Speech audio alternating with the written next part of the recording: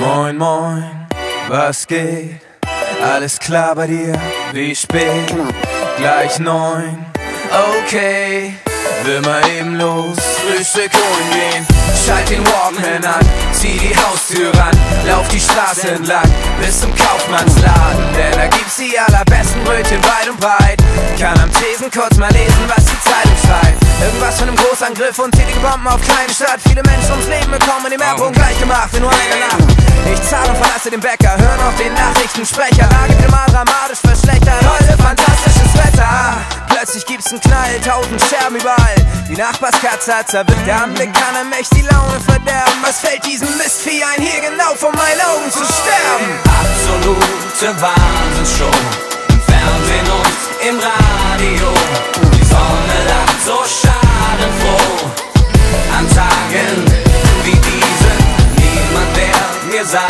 sagt, wieso. Abendbrot, die Frage, warum so gnadenlos.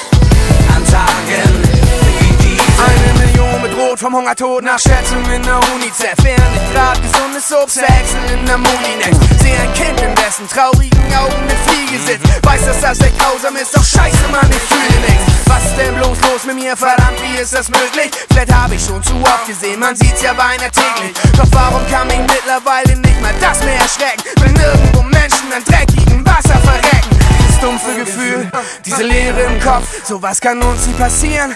Und was wäre, wenn doch? Und mich zerreißen die Fragen, ich kann den Scheiß nicht ertragen. Die haben denn nichts mehr zu fressen und ich hab Steine. Gute Wahnsinnsshow. Im Fernsehen und im Radio. Die Sonne lacht so schadenfroh. An Tagen wie diesen. Niemand, der mir sagt, wieso. Frühstück oder Abendbrot.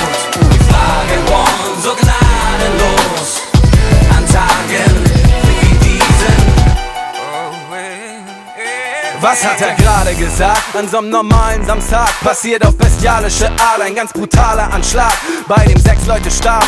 Die Verletzten schreien Namen. Diese entsetzlichen Taten lassen mich jetzt nicht mehr schlafen. Und ich seh's noch genau, das Bild im TV. Ein junger Mann steht dort im Staub, fleht um Kind und Frau. Jetzt frage ich mich, wie ist es wohl, wenn man sein Kind verliert? Noch bevor es seinen ersten Geburtstag hat, doch das übersteigt meine Frust und Kraft. Vielleicht waren die Attentäter voller Hass für den Gegner. Vielleicht gab es Liebe für Familien, sie waren sogar selber Väter.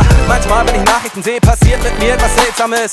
Denn auch wir sind Eltern jetzt. Und mein Kind in diese Welt gesetzt. Dann kommt es vor, dass ich Angst habe vor Krieg. Dass uns etwas geschieht. Dass man den verliert, den man liebt. Dass es das wirklich gibt. Mitten in der Nacht werde ich wach und bin schweißgebadet. Schleich ins Bett meiner Tochter und hör, wie sie ganz leise atmet. Absolute Wahnsinnsshow. Im Fernsehen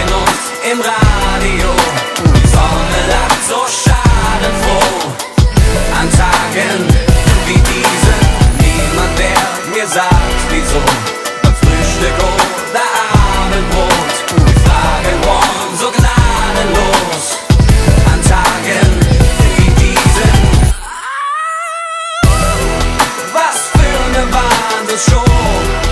And